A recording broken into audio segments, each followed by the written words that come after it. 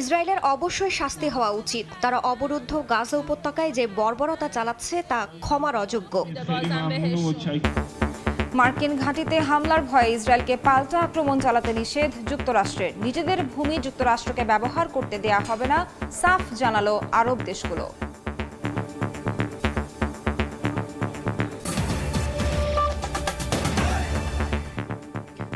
আন্তর্জাতিক সময়ে সঙ্গে আছি আমি নাবিলা সোহার। আলোচনায় স্টুডিওতে আছেন সহকর্মী রায়হানুর রানা, যাচ্ছে তার কাছে। রানা, শুরুতেই আপনার কাছে জানতে চাই, গতকাল মধ্যরাতে ইসরায়েলে অতর্কিত হামলা চালিয়েছে ইরান ক্ষেপণাস্ত্রের সাহায্যে। এই হামলার পেছনে আসলে কারণগুলো কি কি?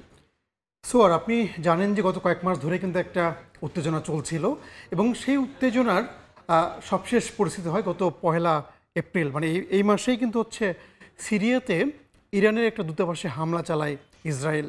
এবং ওই হামলায় ইরানের যে বিপ্লবী বাহিনী আছে, সেই বাহিনীর দুজন কমান্ডার সহ বেশ কয়েকজন নিহত হন।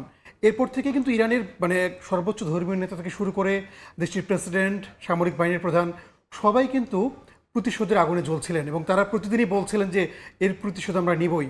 এবং যার ফলে কিন্তু গতকাল রাতে অতর্কিত হামলাটা হয়। তার মানে ইসরায়েল আগে থেকে জানতো যেরকম একটা হামলা হতে পারে। ইসরায়েল জানতো। আমরা আলোচনা করব। আমাদের কাছে কয়েকটি তথ্য মানে প্রমাণ নিয়ে একটু আলোচনা করি যে কী কী আছে কী কী বিষয়ে ওগুলো আমরা যদি দেখি যে ইসরায়েলে ইরানের ট্রু প্রমিজ অভিযান আপনি যেটা বলছিলেন যে এই ঘটনার কি ওই এক তারিখের যে হামলা সেই হামলার প্রতিশোধটার মানে তার নাম দিয়েছে হচ্ছে ট্রু প্রমিজ অভিযান। এবং একটা বিষয় গুরুত্বপূর্ণ যে শুধুমাত্র ইরান কিন্তু এখানে হামলা চালায়নি। ইরানের পাশাপাশি আপনি জানেন যে মধ্যপ্রাচ্য ইরানের অন্যান্য দেশে কিন্তু ইরানের মিত্র বেশ কয়েকটি গোষ্ঠী আছে। লেবাননে যেমন হিজবুল্লাহ আছে, ইয়েমেনে হাউতি আছে। এরকম ইরান যখন কালকে রাত্রে হামলা চালিয়েছে, ঠিক সেই সময় ইরাক, ইয়েমেন এবং লেবানন থেকেও কিন্তু ইসরায়েলে হামলা চালানো হয়। এবং সবচেয়ে একটা বিষয় গুরুত্বপূর্ণ যে এত বড় একটা হামলা হয়েছে, ইসরায়েল কিন্তু স্বীকার করছে না কী ধরনের ক্ষয়ক্ষতি হয়েছে। তারা বলছে তারা বেশিরভাগ ড্রোন ও মিসাইল ভূপাতিত করেছে, এটা ইসরায়েলের দাবি। যদিও ইরানি বেশ কয়েকটি গণমাধ্যম বলছে যে ক্ষতিগ্রস্ত হয়েছে, যদি সেটা প্রকাশ করছে না ইসরায়েল।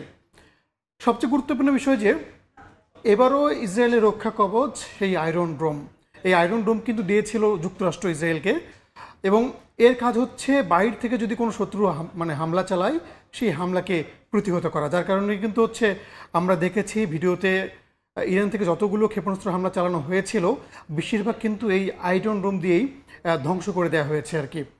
আরেকটি বিষয় দেখেন, উত্তেজনা ছড়ানোর বিপক্ষে বলে ইসরায়েলকে সমর্থনের ঘোষণা যুক্তরাষ্ট্রের। তার মানে গাজা ইস্যুতে যেখানে মানে যুক্তরাষ্ট্র একটা দ্বিচারিতা করছে, ঠিক একই ইস্যুতে দেখেন এই ইসরায়েল ইরান ইস্যুতেও যুক্তরাষ্ট্র মানে দ্বিচারিতা করল। তারা বলল যেন এই উত্তেজনা না ছড়ানো হয়। উল্টো যখন হামলাটা হলো তখন কিন্তু আবার ইসরায়েলের প্রতি সমর্থন দিলেন প্রেসিডেন্ট বাইডেন। তিনি কিন্তু এই হামলার তীব্র প্রতিবাদ জানিয়েছেন এবং মার্কিন অন্যান্য রাজনীতিবিদরাও প্রতিবাদ জানিয়েছেন। একটা বিষয় গুরুত্বপূর্ণ যে এই যে ইরানের হামলা এই হামলার পরে কিন্তু বিশ্বজুড়ে একটা প্রতিক্রিয়া দেখা যাচ্ছে। সেক্ষেত্রে বিশ্বমোড়ল যে দেশ এবং হ্যাঁ। রাষ্ট্রগুলো রয়েছে তাদের আসলে অভিমত কি? তাদের বিশ্ব মোড়ল যদি একটু বলি যে চীন রাশিয়া এদিকে যুক্তরাষ্ট্র ইউরোপ তারা কিন্তু হচ্ছে বিভিন্ন কথা বলছেন। সো এ বিষয়ে আমাদের হাতে একটা প্রতিবেদন আছে, সেই প্রতিবেদনটা দেখে এসে তারপরে আমরা আলোচনা করছি।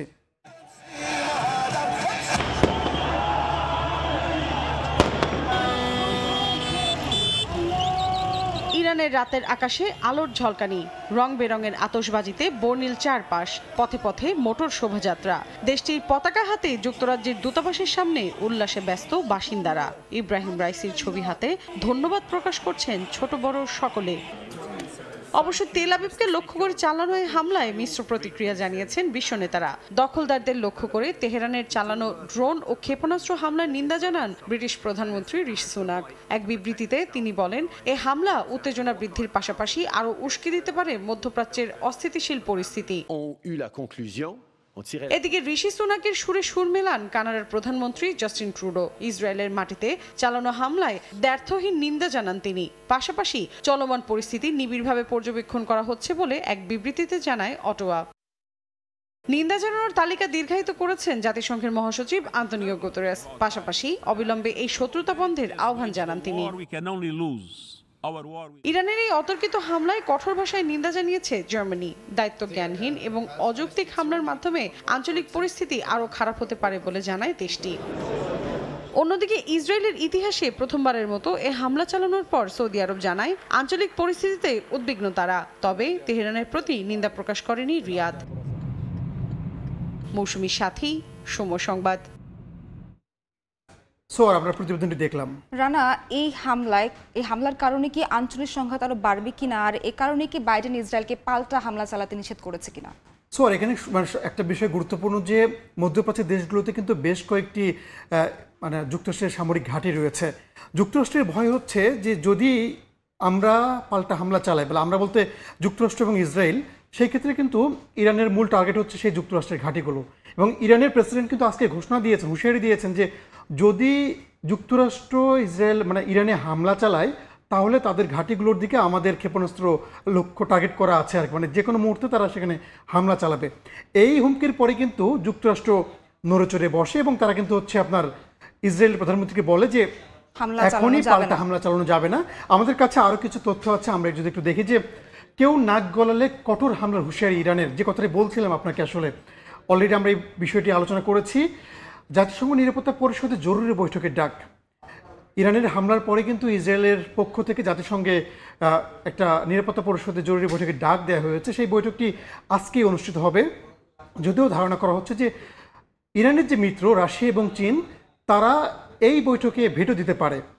ধারণা করা হচ্ছে কারণ আপনি জানেন যে এর মধ্যে কিন্তু একটা দুই পক্ষ দাঁড়িয়ে গেছে একদিকে যুক্তরাষ্ট্র ইউরোপ একদিকে রাশিয়া চীন ইরান। মানে একটা দুই পক্ষ একটা সংঘাত বাড়ার। একটু যদি বলি যে সংঘাত ছড়িয়ে পড়ার সংঘাত যে যদি ইসরায়েল পাল্টা হামলা চালায় তাহলে কিন্তু সংঘাতটা আসলে ছড়িয়ে পড়বে। কারণ আপনি জানেন যে অলরেডি একটা যুদ্ধ চলছে গাজা এবং ইসরায়েলের মধ্যে এবং লেবানন থেকেও সঙ্গে হিজবুল্লাহ কিন্তু হামলা চালাচ্ছে প্রতিনিয়ত।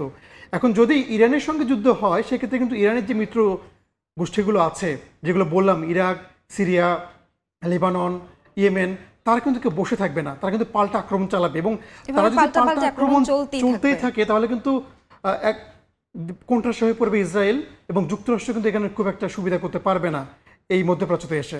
তো এই ছিল আসলে সোয়ার। রানা আপনাকে অসংখ্য ধন্যবাদ। ইরানের পক্ষ থেকে ইসরায়েলের হামলা বিষয়ে আলোচনা আমাদের সঙ্গে যুক্ত হওয়ার জন্য। আপনাকে ধন্যবাদ। আন্তর্জাতিক সময় আরও থাকছে। ভারত জুড়ে সিএএ বাস্তবায়নের প্রতিশ্রুতি মোদীর, বিজেপি নির্বাচনী ইশতেহার প্রকাশ, শক্তিশালী ভারত করার অঙ্গীকার। কাশ্মীরে তিনশো সত্তর ধারা বাতিলের মতোই ভারত জুড়ে সিএএ আইন বাস্তবায়নের প্রতিশ্রুতি দিয়েছে দেশটির শাসক দল ভারতীয় জনতা পার্টি। বাংলা নববর্ষের প্রথম দিন দিল্লির বিজেপির কেন্দ্রীয় কার্যালয়ে আয়োজিত দলের নির্বাচনী ইশতেহার প্রকাশ করতে গিয়ে নরেন্দ্র মোদী শক্তিশালী ভারত গড়ার প্রতিশ্রুতি দিয়েছেন। একই সঙ্গে দেশের আশি কোটি মানুষকে বিনামূল্যে রেশন দেওয়া, এক দেশ থেকে এক এক দেশ এক ভোট এবং এক আইনের পক্ষেও দলীয় অবস্থানের কথা ঘোষণা করেছে বিজেপি।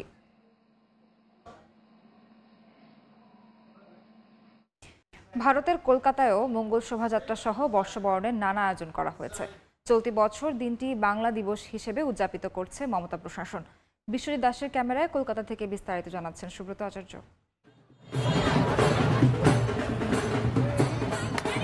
রোববার দক্ষিণ কলকাতার গাঙ্গুলি বাগান থেকে শুরু হয় মঙ্গল শোভাযাত্রা।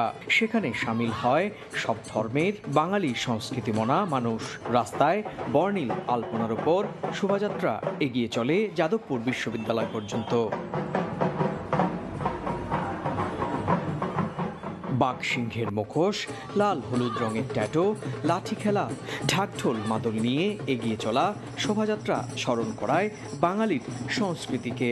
পশ্চিমবঙ্গে একটা বৈশাখী উৎসবে আমি থাকতে পেরেছি। এটা একটি আনন্দের ব্যাপার। সংস্কৃতির ঐতিহ্যের মধ্যে সম্প্রীতির বার্তাটা বড় বার্তা। নতুন বছর সবার খুব খুব ভালো কাটুক। পশ্চিমবঙ্গ রাজ্য সরকারও এই দিনটিকে বাংলা দিবস হিসেবে ঘোষণা করে নানা আয়োজনের মধ্য দিয়ে পালন করছে। যদিও তা নিয়ে রয়েছে মিশ্র প্রতিক্রিয়া। ভাষা ও চেতনা সমিতির পক্ষ থেকে কলকাতার একাডেমি অফ ফাইন আর্টস প্রাঙ্গণে নেওয়া হয় দিনব্যাপী বাংলা বর্ষবরণের নানা কর্মসূচি। সুব্রত আচার্য আবারও বর্ষবরণের খবর। যুক্তরাষ্ট্রের নিউ ইয়র্কের টাইমস স্কোয়ারে উদযাপন করা হলো বাংলা নববর্ষ। রমনা বটমূলের বর্ষবরণের সময়ের সঙ্গে মিল রেখে জমকালো আয়োজনে বাঙালির প্রাণের উৎসব পহেলা বৈশাখ উদযাপন করেন প্রবাসী বাংলাদেশিরা। নিউ ইয়র্ক থেকে হাসানুজ্জামান সাকির রিপোর্টে বিস্তারিত। যুক্তরাষ্ট্রের নিউ ইয়র্কে বাংলা বর্ষবরণ অনুষ্ঠানে সমবেত গানে শতশিল্পী নাচ গান আর বাদ্যবাজনায় নতুন বছরকে বরণ করে নেন প্রবাসীরা। এ উৎসবে জড়ো হন হাজারো মানুষ। আমরা আশা করি যে প্রত্যেক বছর যেন আমাদের পয়লা বৈশাখ আমরা সেলিব্রেট করতে পারি এবং এভাবে আরও বড় করে যেন সেলিব্রেট করতে পারি। আমাদের আরও সংঘবদ্ধ হয়ে, আরও অর্গানাইজড হতে আরও হতে হবে, কিন্তু এত আমরা আপ্লুত, এত লোক হয়েছে বাঙালি হিসেবে আমি খুব গর্বিত। টাইম স্কোয়ারের এই অনুষ্ঠানে সংগীত ও নৃত্য পরিবেশন করেন নিউ ইয়র্কের বিভিন্ন সংগঠন। অনুষ্ঠানে অংশ নেন প্রখ্যাত নৃত্যশিল্পী লাইলা হাসান। শুধু নিউ ইয়র্ক নয়, বিভিন্ন অঙ্গরাজ্য থেকেও চোদ্দশো একত্রিশকে বরণ করতে যোগ দেন প্রবাসীরা। আমি তো সেই পেনসিলভেনিয়া থেকে সরাসরি নিউ ইয়র্কে চলে এসেছি শুধু এই অনুষ্ঠানটার জন্য। যেহেতু বাঙালি, বাঙালিদের আলাদা একটা আবেগ কাজ করে নববর্ষ, তো এটা কখনো মিস করতে চাই না। অনুষ্ঠানে সংগীত পরিবেশন করেন বাংলাদেশের জনপ্রিয় সংগীত শিল্পী মমতাজ, নিউ ইয়র্কের সংগীত শিল্পী রানু নওয়াজ ও ভারতীয় লোকশিল্পী পার্বতী দাস বাউল। এই টাইম স্কোয়ারে এর আগে জাতির জনক বঙ্গবন্ধু শেখ মুজিবুর রহমানের বড় ছবি শোভা পেয়েছে বড় স্ক্রিনে এখানেই কীর্তন হয়েছে, এখানে পবিত্র রমজান মাসে তারাবির নামাজ আদায় হয়েছে। এবার বাংলা নববর্ষ উদযাপন উপলক্ষে হাজারো বাঙালির পদচারণায় মুখর হলো এই টাইম স্কোয়ার হাসানুজ্জামান সাকি সময় সংবাদ টাইম স্কয়ার নিউ ইয়র্ক। মানুষের পর এবার চাঁদে হাঁটার প্রস্তুতি নিচ্ছে রোবট। এ লক্ষ্যে নাসার অর্থায়নে ওরেগন অঙ্গরাজ্যে পাহাড়ের চূড়ায় প্রশিক্ষণ দেওয়া হচ্ছে স্পিরিট নামের রোবটটিকে। মূলত চাঁদের বিভিন্ন অদেখা অংশ এবং অজানা রহস্য উন্মোচনেই যাত্রা করবে অত্যাধুনিক এই প্রযুক্তিটি। পৃথিবীর একমাত্র উপগ্রহ চাঁদ এখনও এক রহস্যে ঘেরা উপাখ্যান। এসব রহস্যভেদে মানুষের আগ্রহেরও সীমা নেই। তাই তো চাঁদের নানা অজানা বিষয় সামনে আনতে প্রতিনিয়ত কাজ করে যাচ্ছেন বিজ্ঞানীরা। এরই ধারাবাহিকতায় এবার উপগ্রহে রোবট পাঠানোর লক্ষ্যে কাজ করছেন যুক্তরাষ্ট্রের একদল গবেষক। এরই মধ্যে স্পিরিট নামের কুকুরাকৃতির একটি রোবটকে প্রশিক্ষণ দিতে শুরু করেছেন তারা। চাঁদের বিভিন্ন চ্যালেঞ্জ মোকাবেলায় প্রযুক্তিটিকে করে তোলা হচ্ছে দক্ষ। এজন্য তুষার এবং উঁচু নিচু পাথরের পথে স্পিরিটের খুঁটিনাটি রেকর্ড করা হচ্ছে। পরবর্তীতে সেগুলোকে আরও উন্নত এবং শক্তিশালী করে তুলবেন বিজ্ঞানীরা। মূলত চাঁদের বিভিন্ন জায়গায় ঘুরে তথ্য সংগ্রহ করবে রোবটটি। চাঁদে অসমাপ্ত মিশন শেষ করতে রোবট গুরুত্বপূর্ণ ভূমিকা রাখতে পারে বলে প্রত্যাশা এই গবেষকদের। এছাড়াও পরবর্তীতে মঙ্গল সহ অন্য গ্রহ উপগ্রহেও রোবট পাঠানোর পরিকল্পনা রয়েছে তাদের। চাঁদে রোবট পাঠানোর এই প্রকল্পের গবেষণায় বিশ লাখ ডলার অর্থায়ন করছে মার্কিন মহাকাশ গবেষণা সংস্থা নাসা। পাশাপাশি গবেষক দলটিতে রয়েছে আরও পাঁচ বিশ্ববিদ্যালয়ের বিজ্ঞানীরা। প্রিয়াঙ্কা চক্রবর্তী সময় সংবাদ। আন্তর্জাতিক সময়ের শীর্ষ সংবাদ জানিয়ে দিচ্ছে আরেকবার। ভারত জুড়ে সিএএ বাস্তবায়নের প্রতিশ্রুতি মোদীর, বিজেপি নির্বাচনী ইশতেহার প্রকাশ, শক্তিশালী ভারত গড়ার অঙ্গীকার।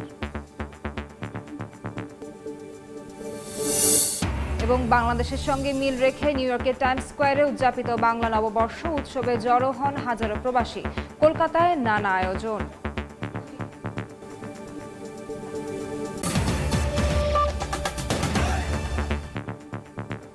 এ ছিল আন্তর্জাতিক সময়। সময় সংবাদের সঙ্গে থাকবেন সহকর্মী ছোঁয়া খন্দকার।